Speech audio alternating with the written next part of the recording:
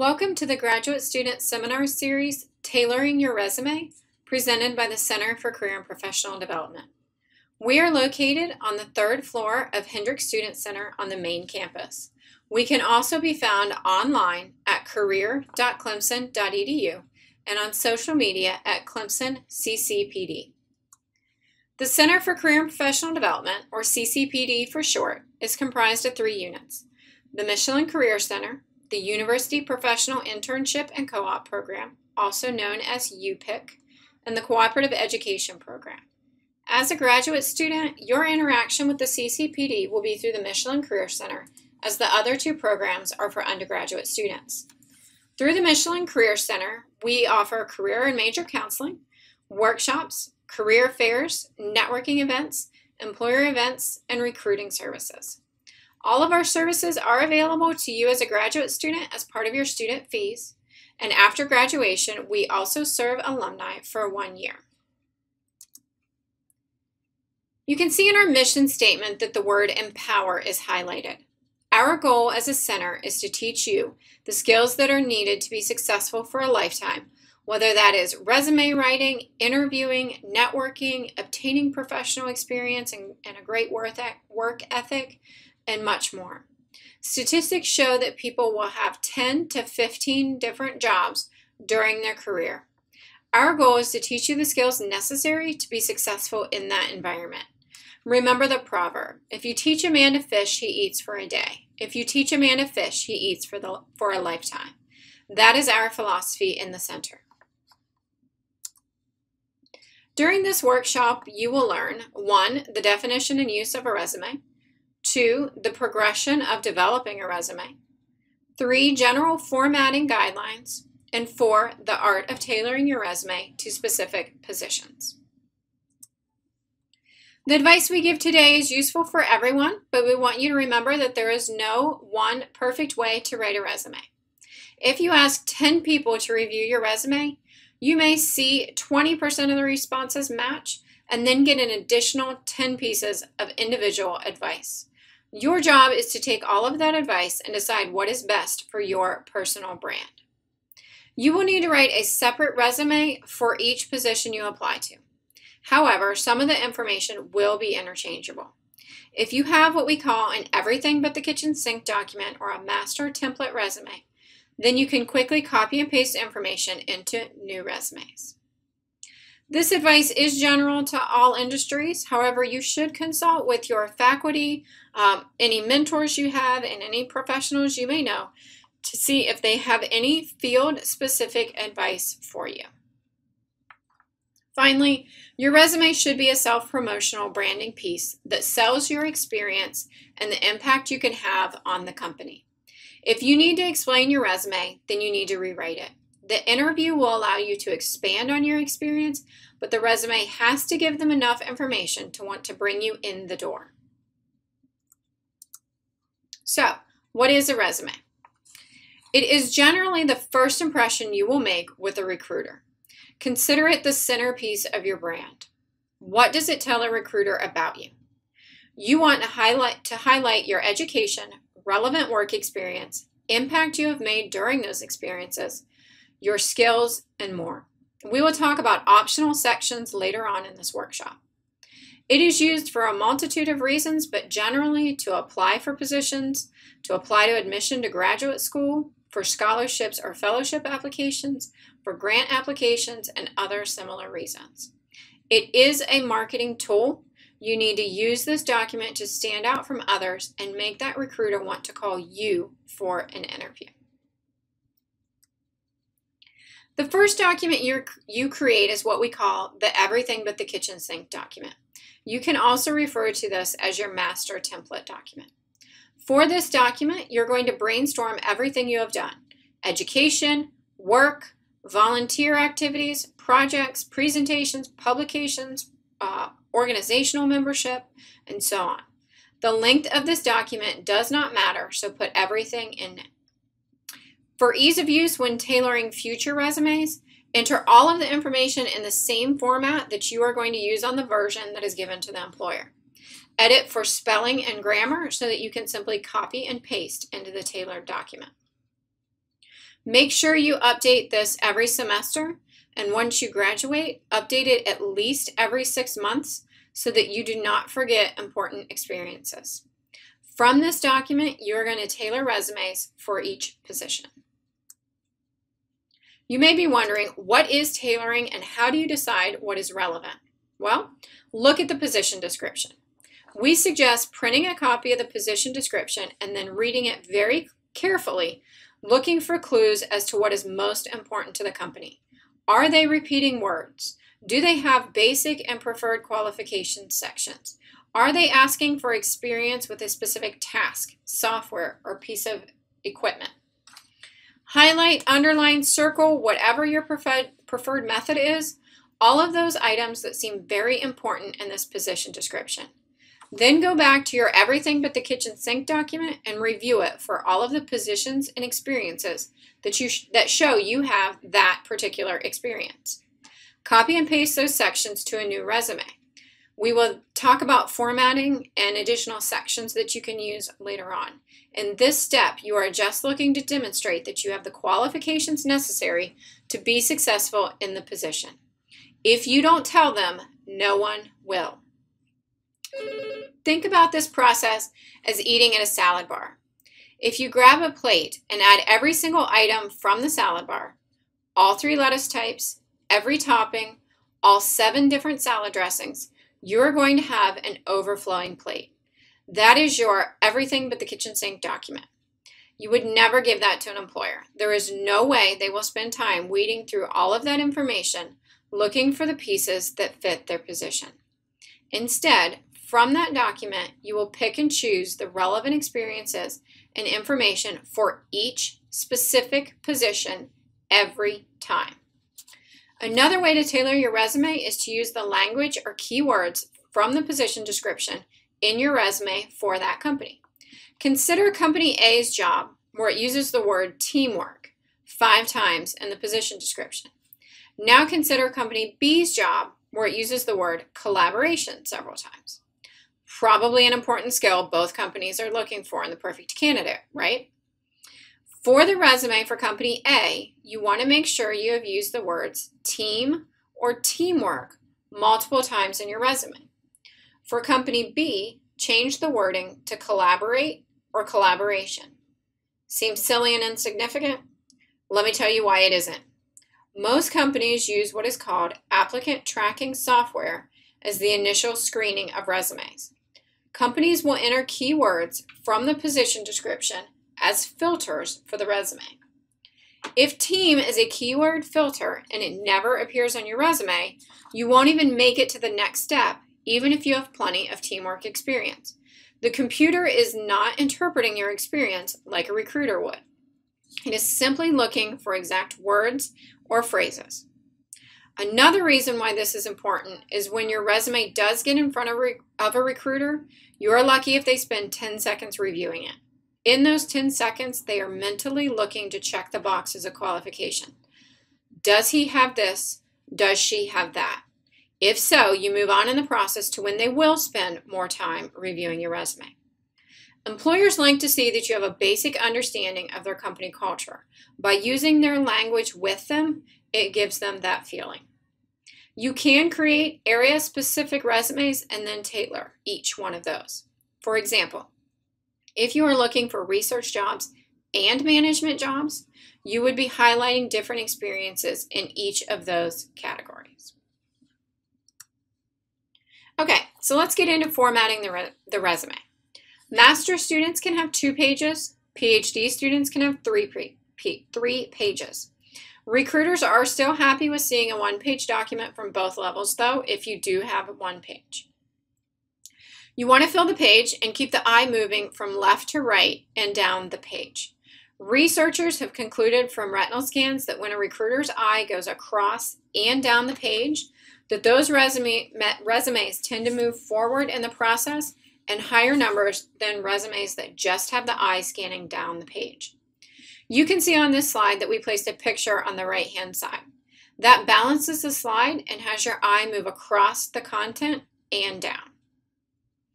Margins can be from a half an inch to one inch, equal on all sides. So it has to be in half an inch, top, bottom, left, and right, or one inch, top, bottom, left, and right, or anything in between. Your name should be the largest item on the page. We suggest 14 to 16 point font. Anything larger, and you're going to get into what we call an ego font size. You should also only use standard fonts on your resume. Anything else on the page other than your name should be a 10 to 12 point font. And you can see that we have some standard fonts listed here on the, on the slide, and you can see that each font takes up a different amount of space on the page. You do want to avoid anything that looks like handwriting or is cursive. Standard fonts are easily read by the human, human eye as well as those applicant tracking software systems that I spoke about a minute ago. You can see from this um, slide, again, that it's taking up different amounts of space on the page. You can choose the one that best fits your design preference. If you are using a multiple page resume, you have to fill at least the half of the second or third page. If you are not, you can use the margin, the font size, and the font type tricks to either expand or contract the information to fill the pages. On pages two and or three of your resume, you need to add your name and the page numbers on the header in case the pages separate when your resume gets printed by an employer. Let's get into each section now. The first section of the resume is the heading. This should include your name and the best contact information for you. It is fine to include both a current and a permanent address.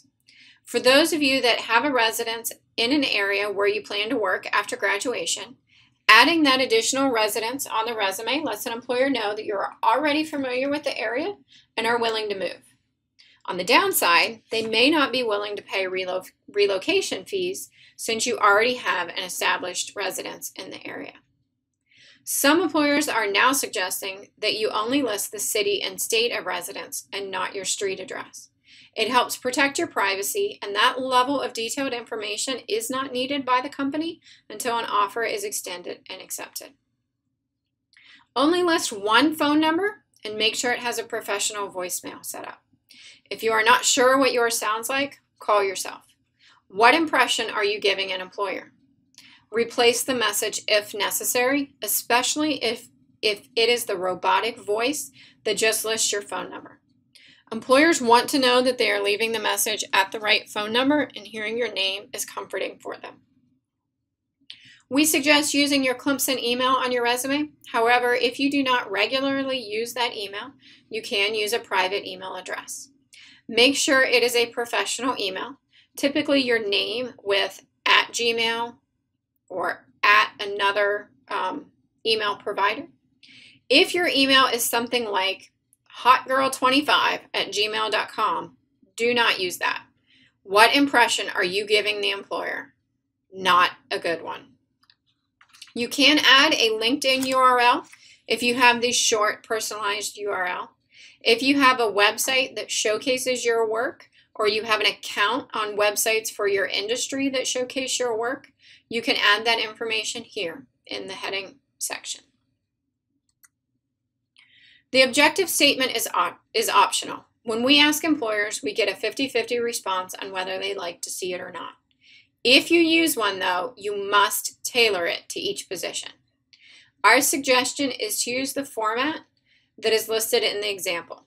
So, for example, to obtain and then enter the position title, in this example, Assistant Manager in Advertising, at enter company name, in this example, Marketing Corporation, that utilizes my, and then pick applicable skills that you have from that position description. In this example, data analysis, communication, and project management experience. The benefits of adding an objective statement is that it is the simplest form of tailoring. If you have the position title and company name listed on the resume, the employer knows you took at least one step towards customization. By including skills from the position description, you are also potentially adding keywords to your resume. If you do not have the space, though, on the resume, you can leave it off and then utilize the cover letter for this purpose. Education should always be listed on the resume, and it is usually the first section after the objective if the objective is used. Once you have an established career, you can consider moving it later in the resume. This section should include every degree you have completed or have in progress. Graduate degree first, then bachelor's degree. And you do want to write the degree in long form, not abbreviated. So in this example, Master of Science rather than MS. You're going to include the date of graduation, but not the start date of the degree. You can use the word anticipated or expected with the future date if you if you prefer, although it's not always necessary. You're going to have the institution and the location of the institution because not everyone knows where every college is located. If you have a cognate, an emphasis, a concentration, you had a minor at any point, you can add that along with your degrees. And then your GPAs uh, can be listed if it is a 3.0 or higher. You can see an example on the slide here. If you prefer the university to be, to be listed first, you can flip those two lines. And this shows a good uh, example of filling the page, as mentioned earlier, and keeping the reader's eye going from left to right and down the page. The experience section is where you really tell your story. It can include professional experience, internships, class projects, volunteering, research, service, anything that will prove that you have the necessary experience for this position. Resumes are written in reverse chronological order, meaning the newest experience is first and then you work backwards. So, what do you do when your most relevant experience is three jobs ago? This is when splitting your resume into multiple categories is very beneficial for tailoring your resume to each position. For example, you could have relevant experience and other work experience sections. The positions can then be reordered, bringing the most relevant job first into the relevant experience section, and then list the other positions in reverse chronological order in the other work experience section. You can have multiple positions in each category, but they will be newest to oldest in each category.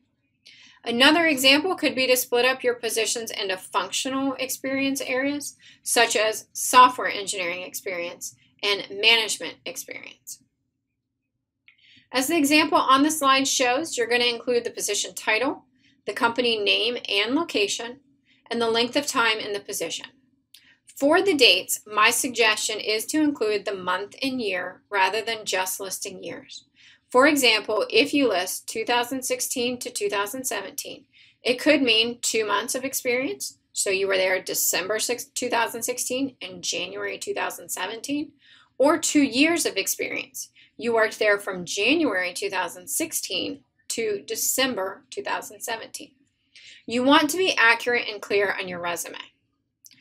Also, make sure you are consistent in your use of abbreviations with the dates and locations. If you abbreviate a month in one section, you need to abbreviate that month in all sections.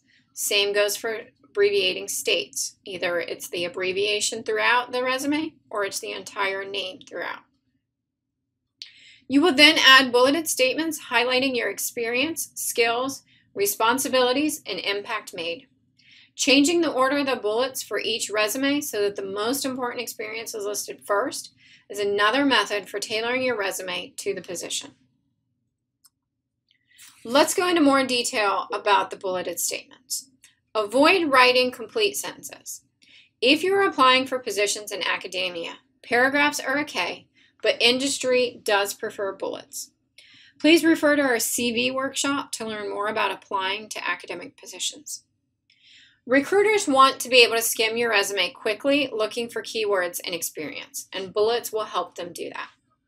You choose the number of bullets for each experience based on the position description. For example, I have social media responsibilities in this position, which is not common for career counselors to have.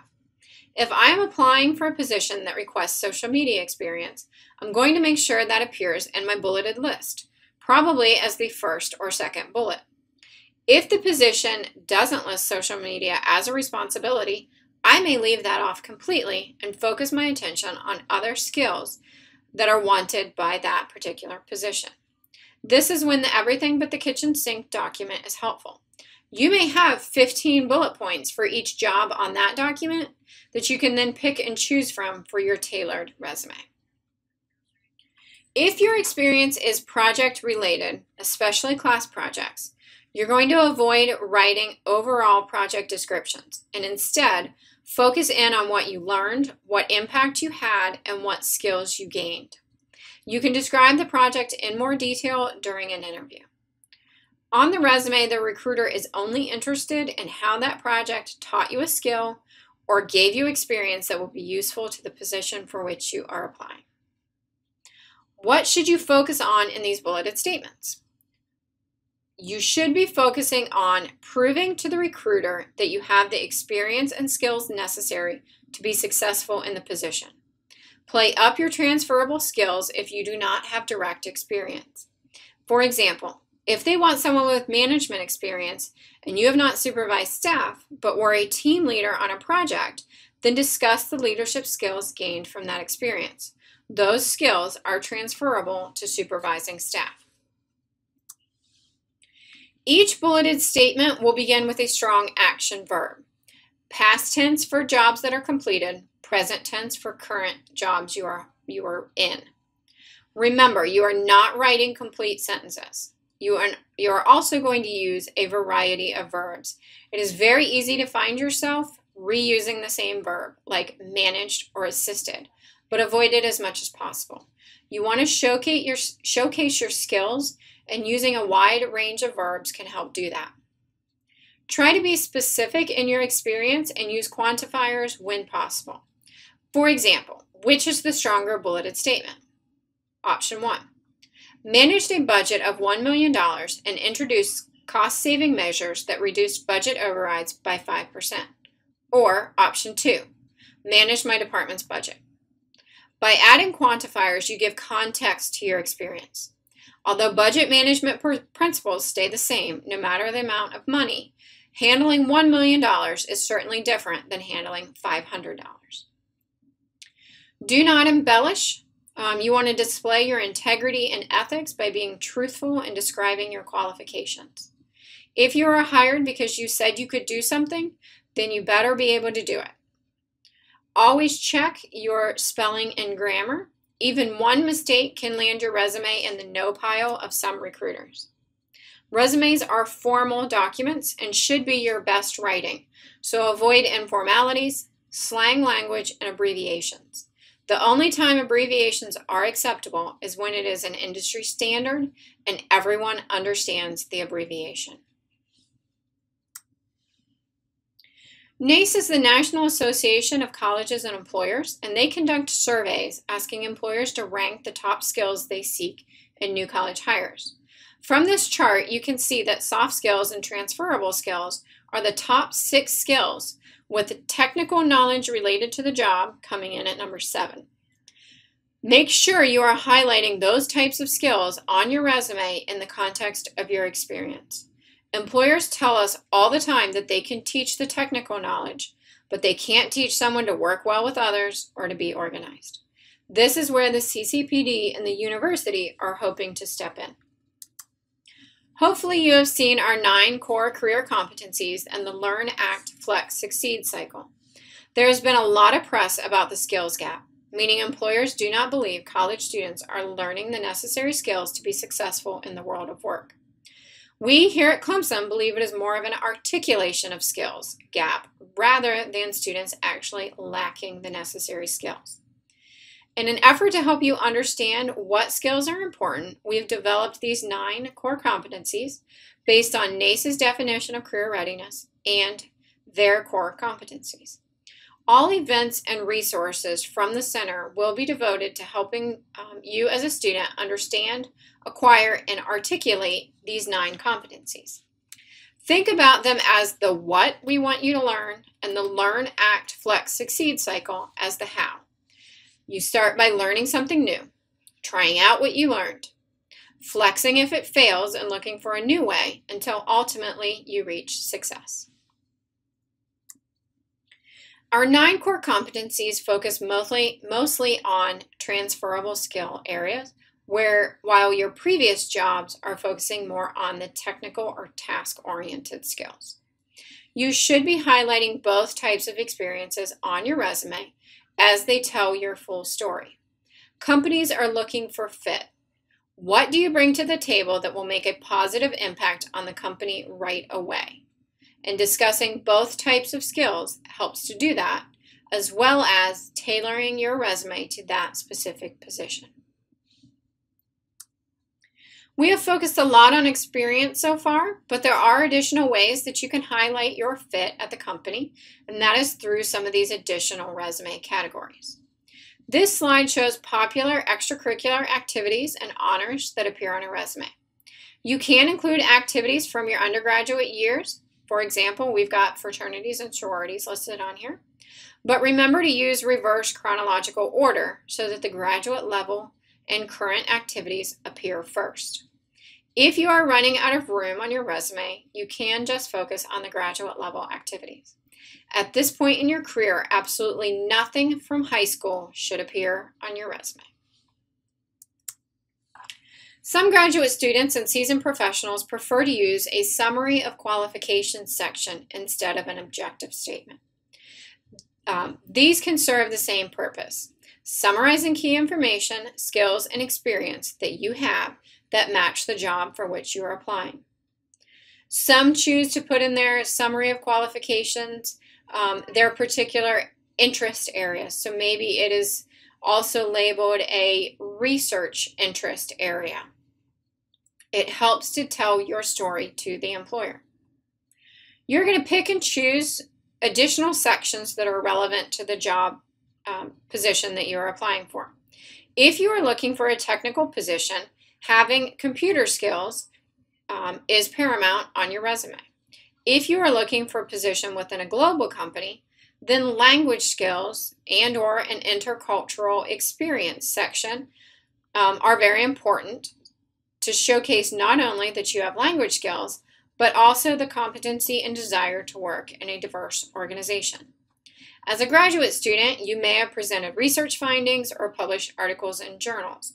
Those activities demonstrate communication skills to employers. Using columns is a space-saving measure for some of these sections. So you can see the computer skills, we put them in three columns to take up less space than if we had used a bulleted list. Here are some links to some Career Spot videos about resume writing. These are located on the resources page of our website. So it's career.clemson.edu slash resources.php. Ch uh, check these out when you have time. They are short but very useful. I have discussed throughout the workshop the importance of tailoring your resume. This slide is a good summary of the why and how. The bottom line is that you customize your resume to show that you are a qualified applicant and the best fit for the position. Sending a generic resume will not do that. As we wrap up, let's review. Take your resume and hold it up to a friend for a couple seconds and then take it down. What is their first impression? Did they think it looked neat and professional? Consider their feedback when making revisions. Consistency is key. All jobs in a section should be formatted the same way. If you abbreviate the state in the education section, then abbreviate the state in the experience section. Check for spelling, grammar, and wording errors. This is where you can show attention to detail. If you turn in a sloppy resume, you are not going to get the job. Have someone else read it for errors. When you've looked at it a hundred times, you are going to miss things. Is the information relevant to the job? Did you customize? Remember, every document should be unique. Earlier, I introduced the career core competencies and stated that the center is focusing on helping students gain and articulate um, these competencies. This workshop that you're participating in focuses specifically on the competencies of communication, self-awareness, brand, and integrity and ethics.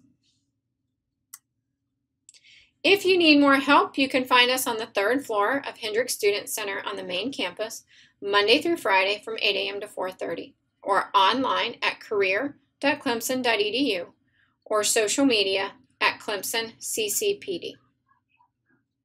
Give us a call at 864 656 6000 or to make an appointment, call 864 656 0440.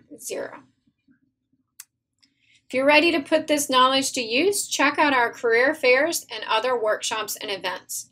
Our fall career fair is generally held in September, and the spring career fair is generally held in late January or early February.